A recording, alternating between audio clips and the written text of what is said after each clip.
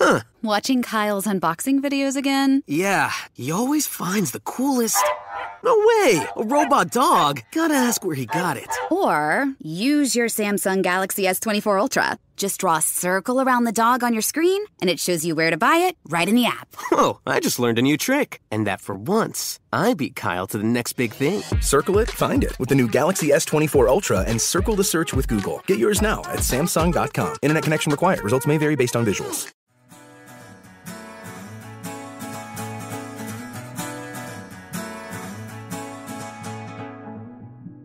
You've got to shake it up to break it up. And what is it we're breaking up? We're breaking up old habits and old patterns. Something dramatic has to happen. What you do is you replace one behavior with a new behavior that's incompatible with the old one. You must recognize and use the ego and greed of others to create a path to success. Now, again, you're probably saying, oh, wait a minute. What are you saying here? I'm Katie Maloney, I'm 37, a divorcee, and I'm out here falling in love every day with myself. And I'm Dayna Kathan, 33, former needy mess, and delusional Leo, but I've never been happier. Never been happier. You know that. Good. The foundation of this podcast is for people who want to live their life unapologetically. It's a safe space for anyone who's going through a transition in their life or just dealing with the regular bullshit. It's a religion. We're not saying that we're looking to start a coven, but that might be why we started but we're not podcast. not saying that. Join our cult. I mean, community. I mean, the coven. religion. Okay, let's just stick with community. Listen to the podcast. Listen to the podcast. Hey, it's Dr. Phil, and we are back talking about Living by Design 9. I've been getting a lot of comments from you guys, and I want to take a few minutes before we pick up with our next item in the playbook. I really appreciate your feedback. A lot of you have said, I can't believe you're giving us all of this information. We keep waiting for the other shoe to drop, like, are we going to get a bill for this at the end or something? I can't believe I'm getting this for free in a podcast, but you are. There's no other shoe to drop. I do want something from you, though. And what I want from you is to stop for a minute and ask yourself what you're doing with what we've talked about so far. And it means something different for everybody. All of you hear something different from what I say, all of you apply it differently in your life. Some of you are plumbers. Some of you are teachers. Some of you are bureaucrats. Some of you are politicians or bankers or executives, whatever. I know because you write to me. And it doesn't matter what it is that you're doing in your life, it's important that whatever it is you're doing, that you have made the decision that you're going to star in your own life. Now, I've talked about that so far, and I've had some people that have actually I've seen around that have asked me about that. This weekend, I was at Tyler Perry's grand opening of his beautiful new studio complex in Atlanta, and several people came up to me there and told me how much they were enjoying this series. And they said, starring in your own life is not as easily done as it is said. I understand that. If this was easy, everybody would do it. I want to talk to you about this concept that I call shake it up to break it up. And I'm going to start with that in 40 seconds.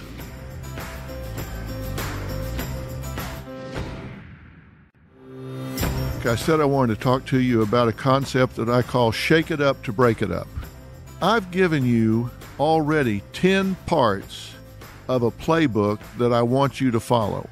I've said that you must have a defined image and never, ever go out of character. Now, that's a big deal. We talked about it in great detail. I said you must create a perception of uniqueness if you want people to keep you around. I said you must play big and not long. There's a big difference between the two. I've said that you have to learn to claim and accept praise and acknowledge it in a gracious way, but do accept it. It's not egotistical to accept it. I said you must become essential. You've got to create a way that whether it's in your relationship, your business, your family, you've got to find a way to become essential. You have to know what your real currency is so you don't wind up spending your life working for what you don't want. I said you must always, always have a plan. Don't ever be an unguided missile. Always have a plan. I've said that you must keep things close to the vest. Don't tell everybody your plan because that plan is what's going to get you where you need to go and get what you want. I've said you must always be in investigatory mode. You must always be figuring out what you need to know that gives you an edge. And before I get to the next item, when I say you've got to change, think about momentum. If you want to really change the way you're living your life, something dramatic has to happen. Because if you think just all of a sudden you're going to listen to me for a few weeks and just automatically your life's going to change, it will not. You are going to consciously have to change how you live day to day, week to week, month to month. Now, think about a bowling alley. Let's say we're throwing a ball down a bowling alley and we want that ball to make a right turn, 90 degree turn. What's it going to have to hit? It's going to have to hit a big brown block of concrete to stop its momentum and redirect it in another way. What is that in your life? What do you need to do where, as I've said before, people need to look at you and say, What happened to her? What happened to him? They seem different. And let me tell you just how concrete I mean that. When I say shake it up to break it up, I mean be as concrete as go home and rearrange all the furniture in your house, get a new haircut, change your hair color, change the way you go to work, Change something, change everything where it feels fresh. People always joke about, oh, it's that new car smell. You get a new car and it's exciting, right? Because it's fresh, it's new. Well, how do you make your life fresh and new? You do it by changing things. People avoid change, but you've got to run to change. You've got to embrace change. You've got to create change. And I really mean it just that simply. Go home and rearrange all the furniture in your living room. Go home and take the bed off one wall, put it on another wall. If you always go home and change and then go to the gym, go to the gym in the mornings instead of the afternoons. Change something that signals a new day. Change something in your life. If you've got long hair, chop it off. If you got short hair, grow it out. If you're a brunette, become a blonde. I mean, do something that's different, that signals, demarcates a passage. Says it was on that day, that week, that weekend that everything changed. You've got to shake it up to break it up. And what is it? We're breaking up old habits and old patterns. You don't break habits. What you do is you replace one behavior with a new behavior that's incompatible with the old one. You know, people say, oh, I've got this smoking habit. Well, that habit is a coping mechanism. You use it to handle stress or anxiety or keep from eating or whatever, how whatever you started it. Maybe you started to look cool or I don't know. But it served a purpose. We don't do anything in our lives that don't pay us off in some way. So if you're going to stop doing something, you have to figure out what was the payoff for it. And if you're going to eliminate it, you have to figure out if that was a positive payoff. You need to figure out how you're going to get that payoff without doing what you were doing. So if you were getting pleasure from eating too much, or pleasure from smoking, or you were getting some kind of validation or confirmation from playing the nice guy, then you need to figure out okay, if I'm going to get rid of this habit of playing the nice guy by telling people what they want to hear, and I got a lot of pats on the back for that, and that was currency to me, and I'm going to stop doing that, I'm going to miss those pats on the back. I'm going to miss that feeling of acceptance. So, what am I going to do to get that a different way? Because if you don't replace that behavior with something that gives you the same or better payoff, guess what happens? It's going to come creeping right back in based on something called instinctual drift. We have this tendency to regress to the norm. We pull ourselves out to the side and do something different for a while, but across time we're going to drift back to what was our norm unless we find a new way to get the same kind of payoff if it was a healthy payoff. Okay, so think about that. You've got to shake it up to break it up. Change something in your life, change everything in your life. Well, not everything. You don't need to change your spouse. You can't change your kids. You don't even need to quit your job and go to a new one. You just need to change how you do it and change your environment, your world, change the way you walk, change the way you sit in a chair, change everything you can that signals a new day. And let's start right now. How are you sitting right this minute? Are you kind of slouching? Sit up. Sit up right now. Serious, I'm not kidding you. Sit up right now. Sit up really tall, pull your shoulders back, put your head up. Sit up tall. Sit up with some pride. How do you present yourself? It begins with that. How do you present yourself? Begin with that. Just that subtle little change. Remember the example I gave between walking in the park and feeding the pigeons versus walking from A to B with a purpose?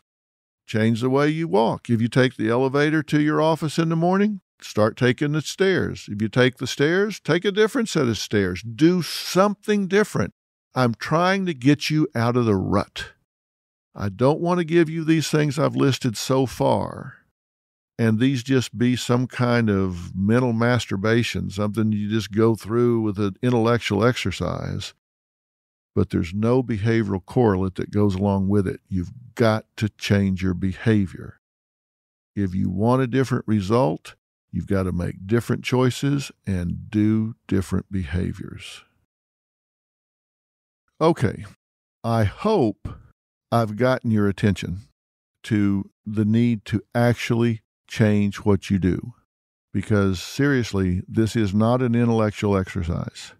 For example, there's a big difference between thinking something and writing it down.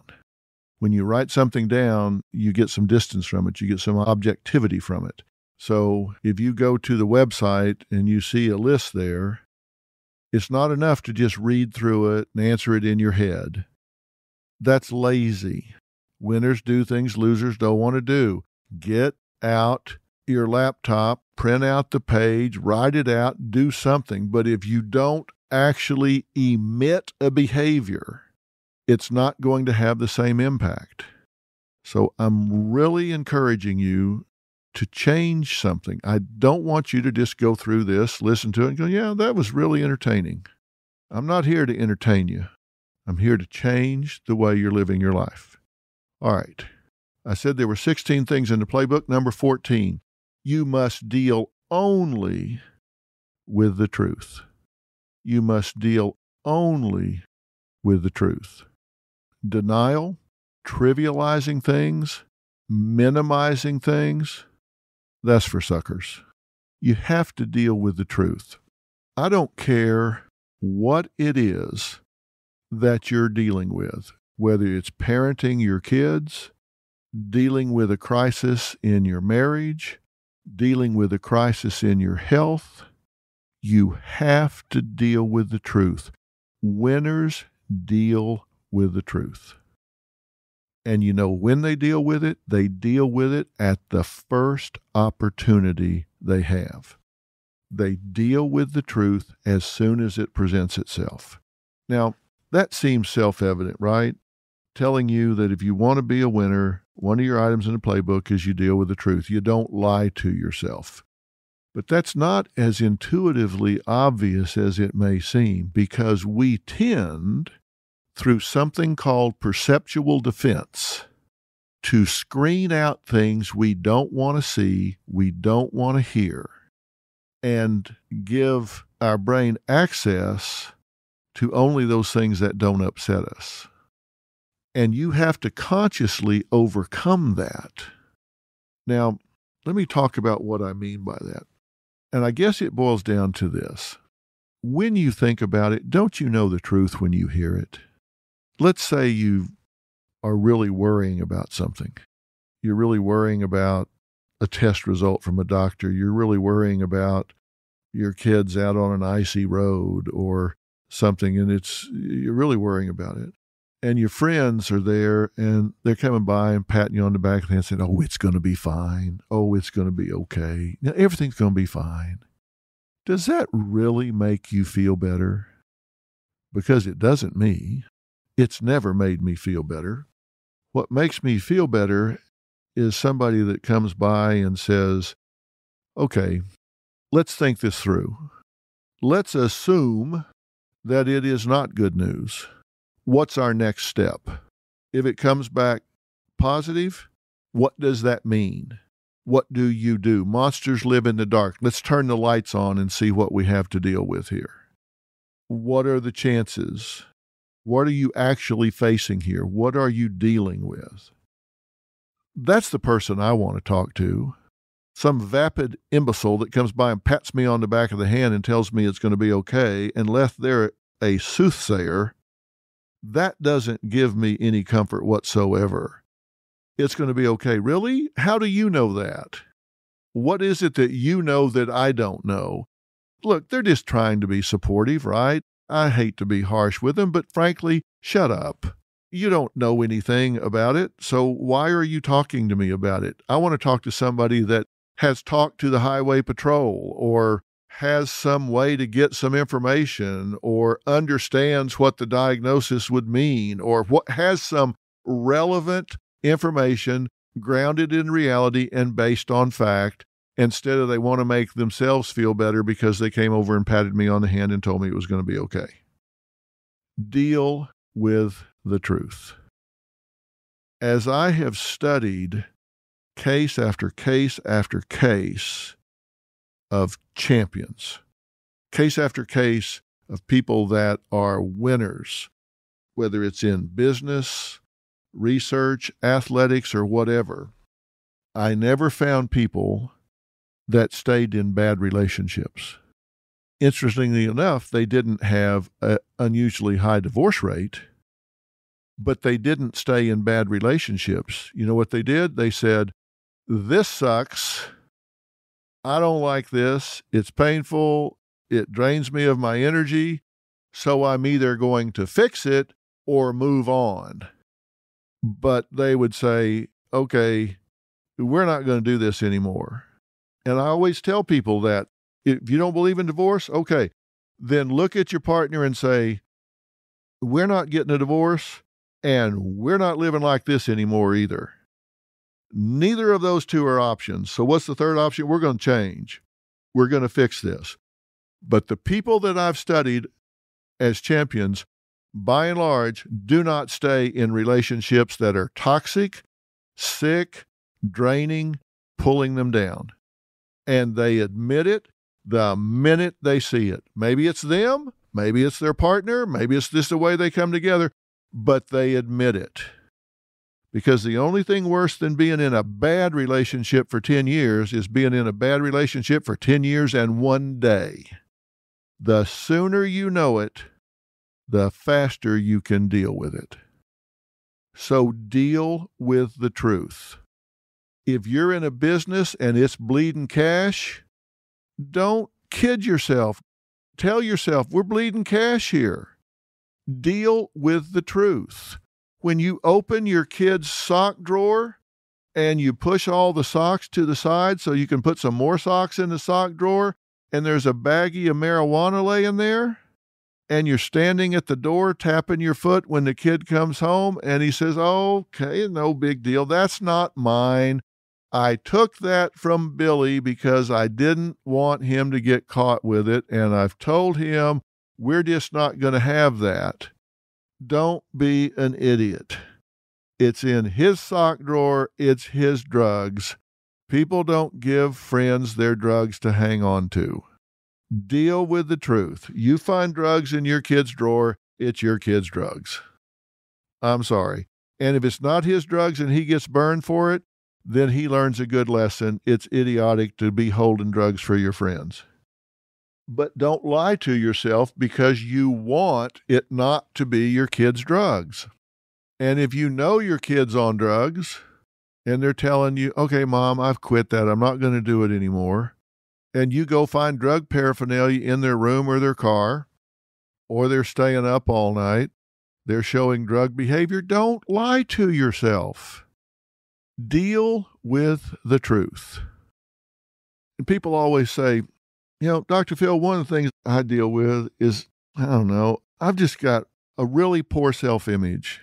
I've got really low self esteem and I've got a really poor self image.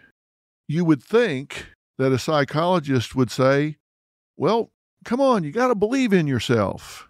Get a positive dialogue going. That is not the first thing I say.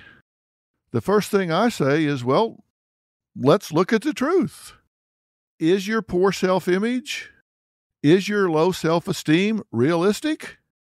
Seriously, if you haven't worked in two years and you're abusive with your wife and you're abusing drugs and alcohol, you should have a bad self image. You should have low self esteem. Let's deal with the truth. I don't want to go puff this guy up when in fact he has a pretty clear view of himself. What I would rather do is acknowledge that he has a clear view of himself and that his poor self image is accurate. And so putting on his to do list is to change who he is and how he behaves rather than changing the dialogue about how he's labeling who he is and how he behaves. Old sayings get to be old sayings because they are profound. They stick around generation to generation and generation because they fit. And an old saying is you can put lipstick on a pig, but it's still a pig. That sticks around generation to generation because it's true. You can take somebody that is an unemployed, wife abusing drug addict and get him to say positive things to himself. That's like putting lipstick on a pig. You're not dealing with the truth. He needs to be honest about that so he can put on his to do list improving his values, improving his behavior, improving his motivation, improving his goals in life, rather than just changing his internal dialogue. When we're talking about medicine, we always say that early intervention, early detection, early intervention is often the key to a good outcome. They say that because it's true you catch something before it gets a good foothold, you can oftentimes knock it out. But if you wait until it overcomes all of your body's resistance, it compromises your constitution, it's an infection that spreads throughout your whole body, something that could have been easily handled now becomes monumental or even insurmountable. Why? because you didn't deal with the truth. You didn't admit you had a problem. You didn't want to go to the doctor because you were afraid what he or she might tell you. You didn't want to hear the truth. So you stuck your head in the sand and it got worse and worse and worse until you couldn't deny it. And now, what could have been easily eliminated becomes a serious problem. You must deal only with the truth, and the sooner you do, the better off you're going to be. That's number 14 in the playbook for success. Number 15, you must recognize and use the ego and greed of others to create a path to success. Yeah, you heard me right. You must recognize and use the ego and greed of others to create a path to success. Now you're thinking, all right, Dr. Phil, you're starting to play hardball now.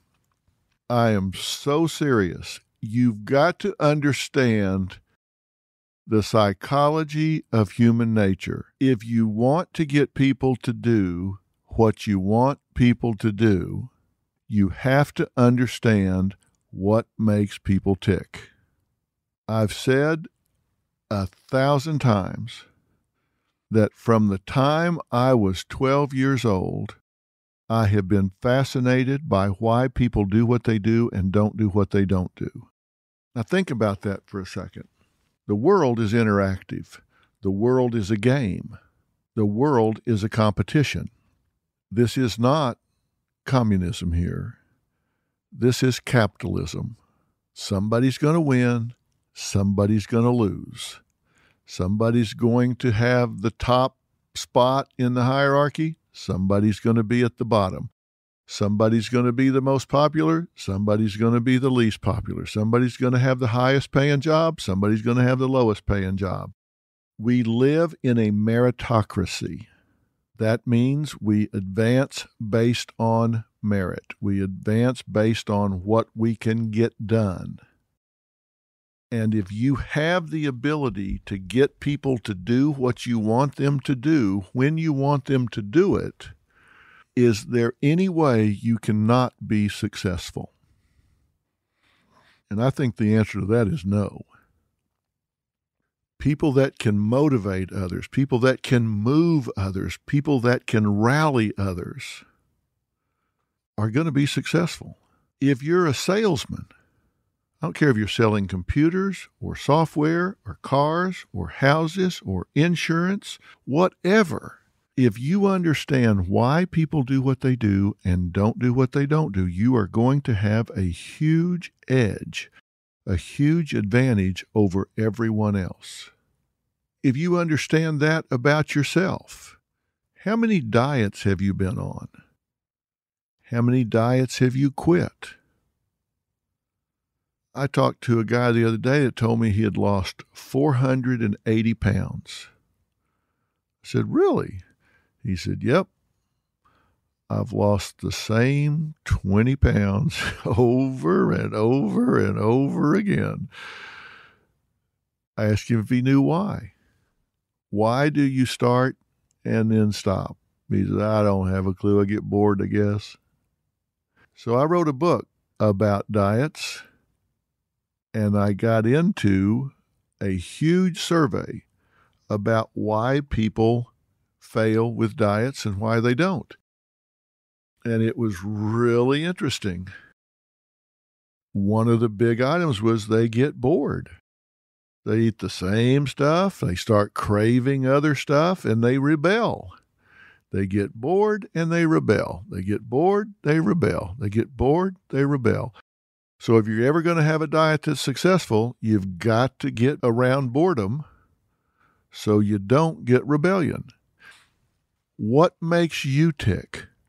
Why do you do what you do? Why do you work? Is it for money? Is it for recognition? Why do you coach your kids? Why do you go to parties?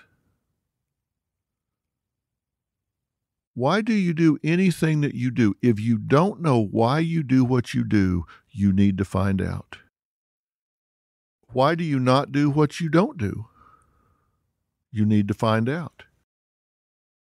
Yeah, you know, I mentioned that I was at a social event this weekend. Let me tell you something about myself. You're probably going to think I'm lying to you here, but I'm not. I'm very shy. Seriously, I'm very shy. I understand I'm on television every day. I understand I talk to like 35, 40 million people a week. I understand that.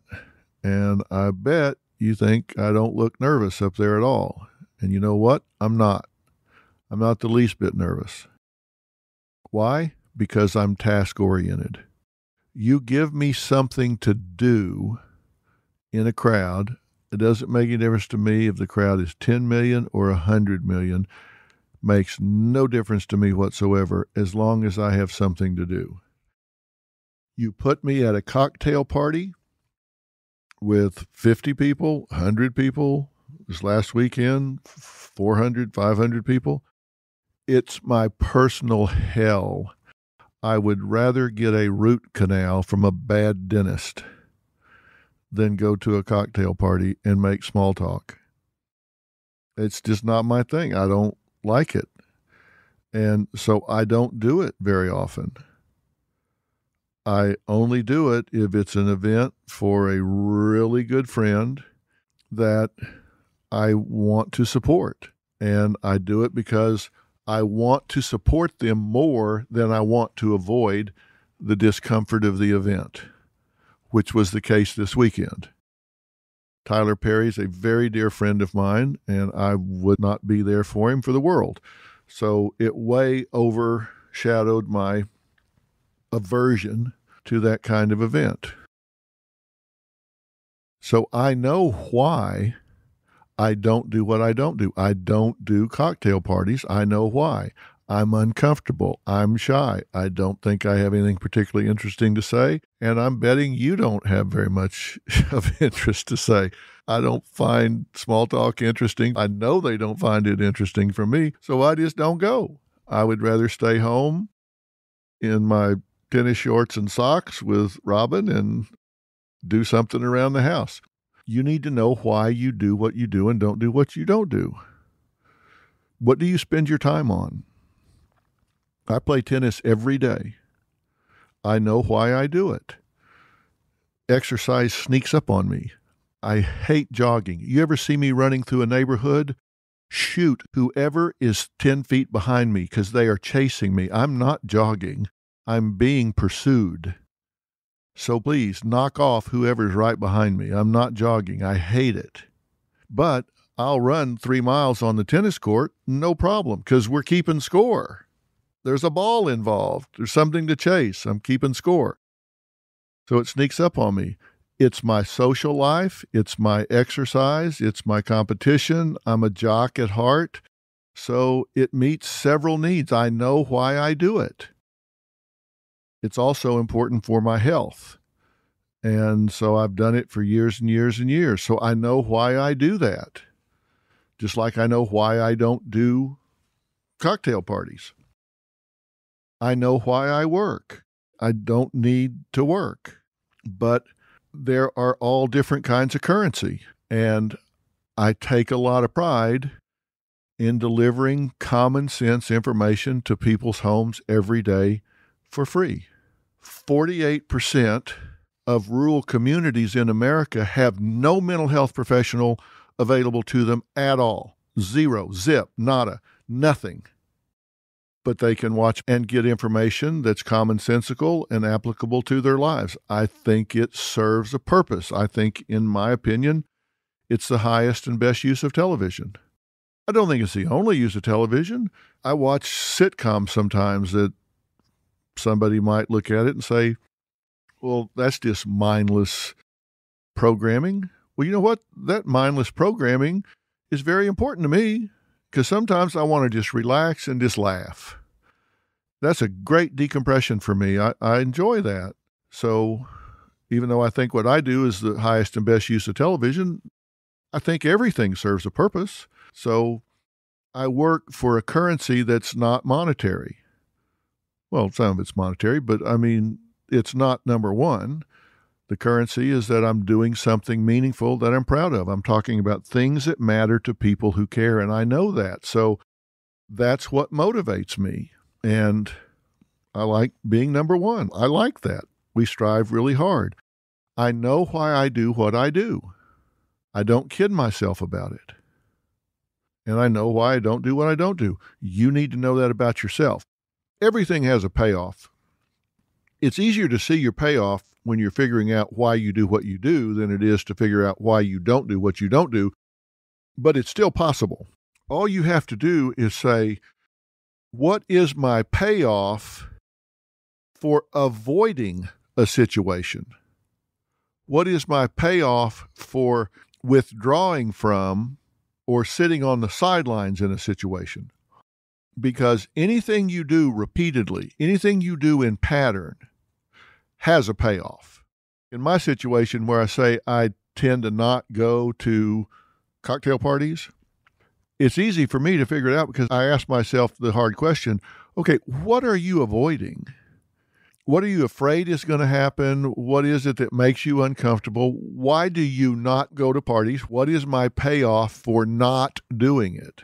For me, the payoff is I avoid the discomfort of having to be in a social situation that is not rewarding for me. I avoid the social awkwardness of standing around with a bunch of people I don't know particularly well or wouldn't flag their cars down to hang out with them. I mean, I just I avoid that situation and that's my payoff.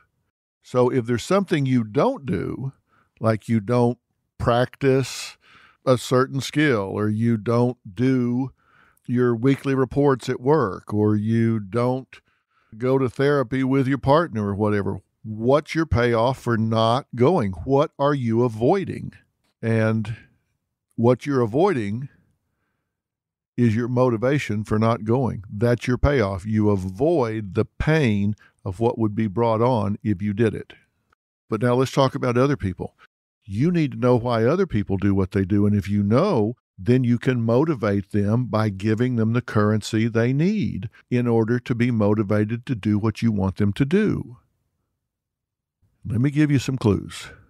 People's favorite topic is themselves. People's favorite topic is themselves. Now, you may think, oh, I got a buddy, his favorite topic is football. No, no, it's not. His favorite topic is himself. He wants to talk about what he thinks about football. He wants to talk about what he thinks the Giants are going to do, or the Cowboys are going to do, or the 49ers are going to do. His favorite topic is him or herself. Now, here's a scary reality. I've talked to you about this a little bit before. We believe people who like us. Think about what I just said. We believe people who like us. We believe people because we feel liked by them. So if somebody is a good audience and we feel like they really like us, you got somebody you say they really like me. They are interested in what I have to say. They laugh at my jokes. They pay attention to what I say. They seem to be focused when I'm around. I really feel liked by them. The truth is, unconsciously, you tend to believe that person more than somebody who doesn't like you or who is neutral on you. They're a good audience. And if they know that, they're playing to your ego. Now, they may really like you. There's no question about that. But if that's true, they're going to enjoy validity.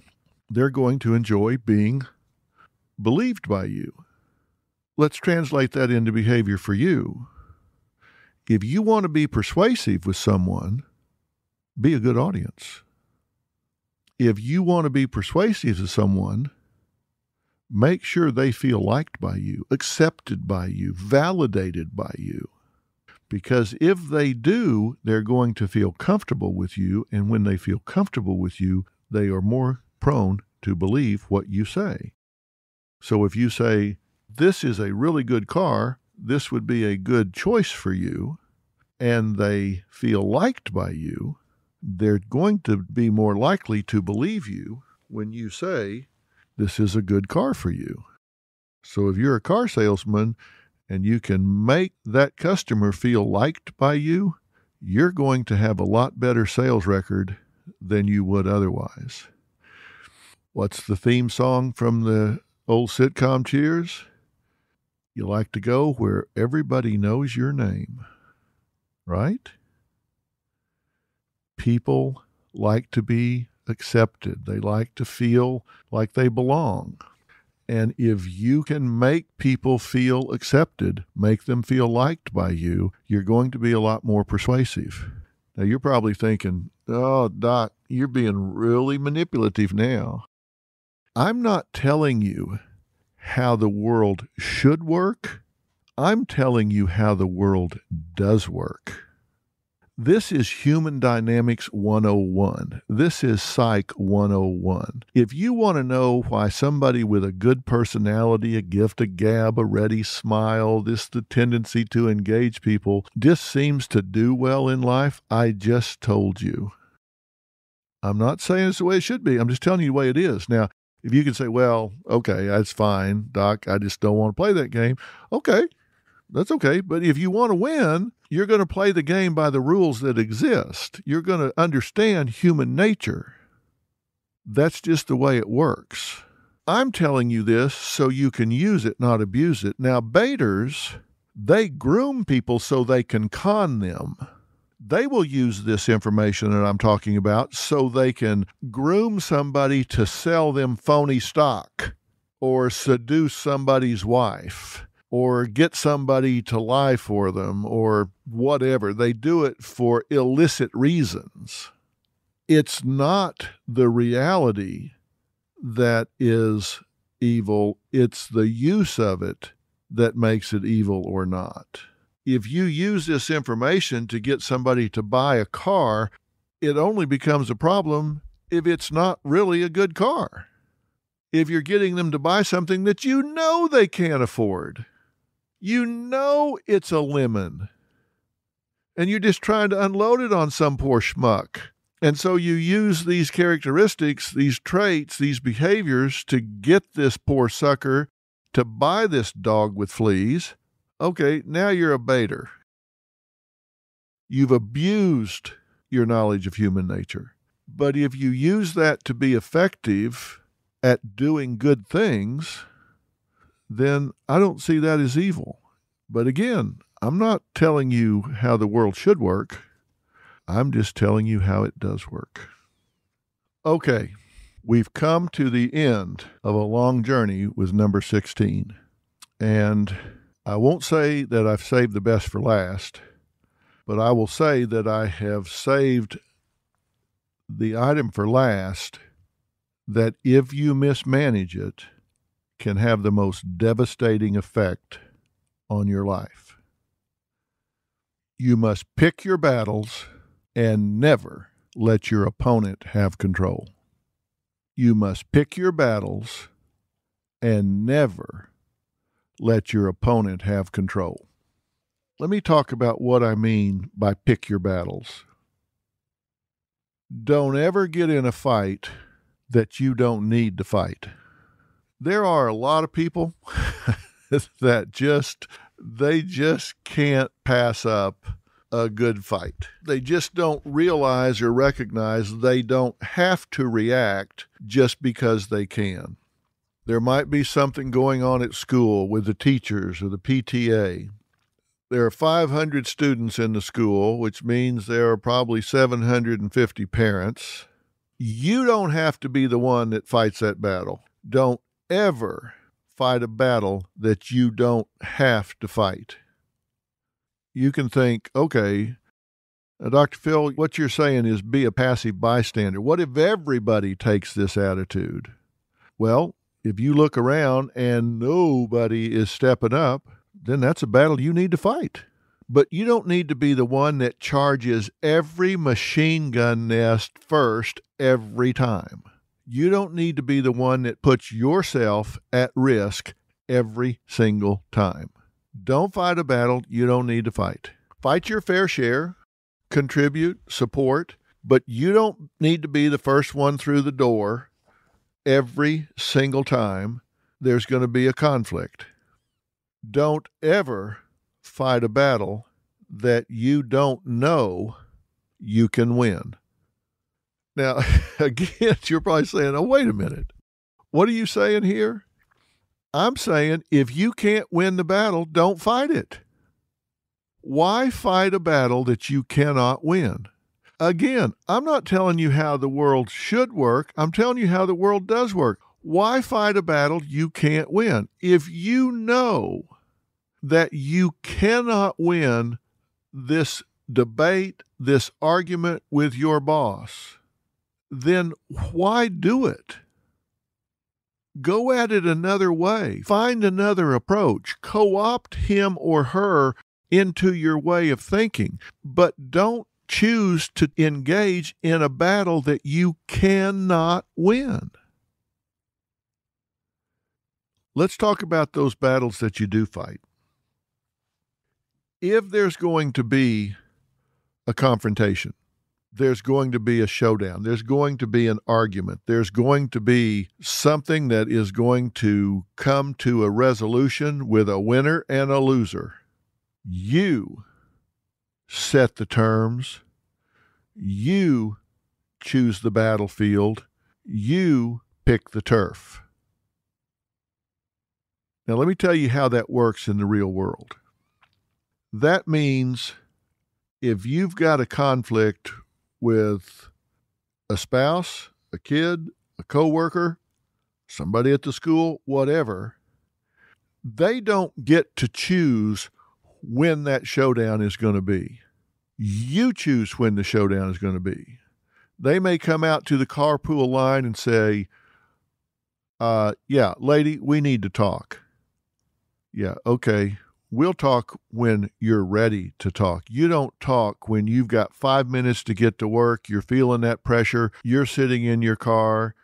She's all dressed to the nines. You're there in some sweats with your hair sticking up. You don't feel ready. You haven't thought about this. You haven't gathered your thoughts, put down your bullet points. You're not ready then that's not when you engage. She's setting the terms and the turf. You don't agree with that. You have to say, yeah, that's fine. I'll get in touch when we can work out a schedule. You don't let them dictate the terms, and I'll guarantee you 90% of the time, people let their opponent dictate the terms. Don't do that. Say, okay, that's fine. Not here, not now. Well, when and where then? I'll let you know. Don't give them control. Well, you call me by noon. Yeah, I'll call you when I call you. I'll be in touch. You set the terms, you set the place, you set the time. You may not want to communicate all of that. If you have something that's really important to you and you want to get a concession from someone, then you may want to get really prepared and surprise them. You may want to get all your ducks in a row, all your facts together, all your information organized, get everything ready, put it all down on a piece of paper, a notepad. You might want to go over it in front of the mirror five times. You might want to record yourself on your voice memo on your phone, listen to it back. You might want to go through 10 times and then just walk into their office. Knock, knock, knock, knock. I need to talk to you about something really important. Have you got a minute? You've set the time, you've set the terms, you've set the turf. You're ready, they're not. What's really important is that you go in knowing what is a win. What is it you want? Don't go in there just to vent. Are you looking for an apology? Compensation change? Are you looking for some reassignment? Are you looking for some kind of acknowledgement from your child or your spouse? What? Decide what is a win. I think you should avoid confrontation at every turn. Avoid battles at every turn.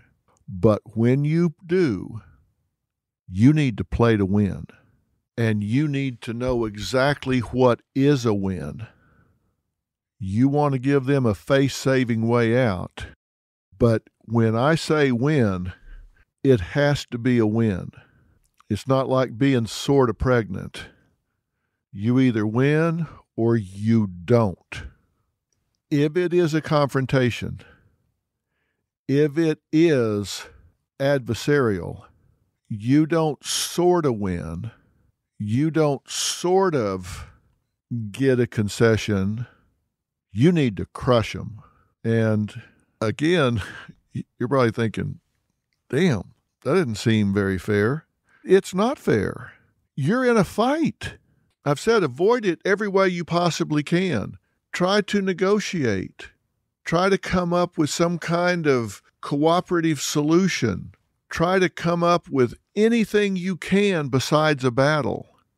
But if you get into a battle and there is no way to avoid it, then you need to play to win and you need a decisive victory. As I said, out prepare the other side.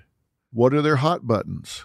What is it you know you can talk about that will distract them, that will get them to be less efficient? You know, in the war, Tokyo Rose was something that was used to really distract the American troops. The Japanese had this radio station that played for the American troops to listen to. They played music that the American troops wanted to hear.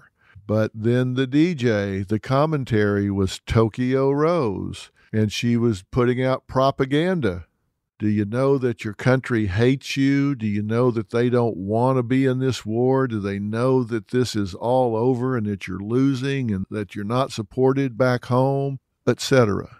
Trying to push their hot buttons to demoralize them. Well, what are the hot buttons of the person you're in a battle with? What are they sensitive to? What can I distract them with? But understand, know what constitutes a win and don't stop until you have it. Let me go back over this in quick summary. Pick your battles. Don't fight one that you can avoid. Don't fight a battle you can't win.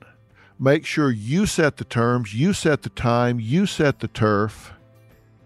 Out, prepare the other side. Be absolutely certain you know what it is that constitutes a win for you. And when I say avoid it, try to work something out, try to compromise, do anything you can. I'm just talking about when you get drawn into a battle, whether you want it or not. Like I said, I would never go into a nice restaurant, be standing in the lobby, and get in a fist fight.